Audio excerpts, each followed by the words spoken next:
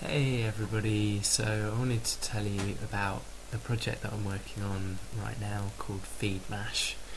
It's a Perl Catalyst project, as you can see by this bit across here. Um, and the idea with a FeedMash is that it's a mashup of RSS feeds and Twitter content, stuff from YouTube, that kind of thing.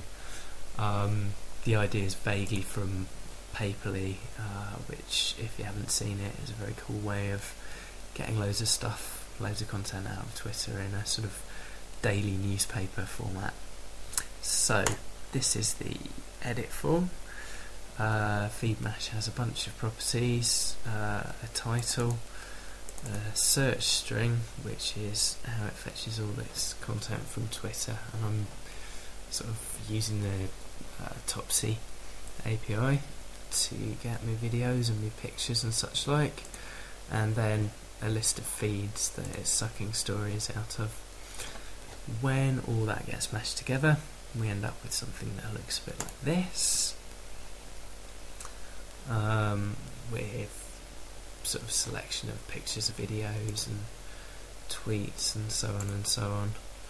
Um, so you can see this like off of YouTube and from Twitter more stories like a newspaper lots of pictures. Ooh.